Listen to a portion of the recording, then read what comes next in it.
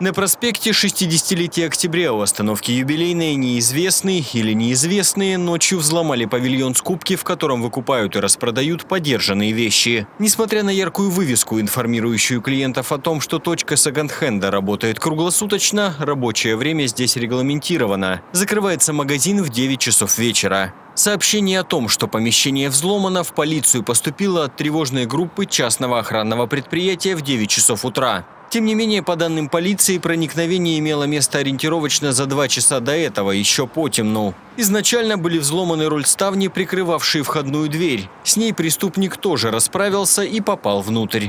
Его почти наверняка кто-то видел, поскольку фасад павильона обращен на одну из самых оживленных транспортных артерий Хабаровска. Поблизости имеется и остановка общественного транспорта. На ней во время утреннего часа пик должно было быть много людей. Тем не менее, в полицию прохожие или автомобилисты о подозрительной активности у магазина не сообщали. После предварительного осмотра витрин сотрудники магазина заявили об исчезновении 19 мобильных телефонов. Примерный ущерб от кражи составил порядка 35 тысяч рублей. Задержать вора по горячим следам служебно-розыскная собака не помогла. С места происшествия Константин Ковешников и Андрей Алферов.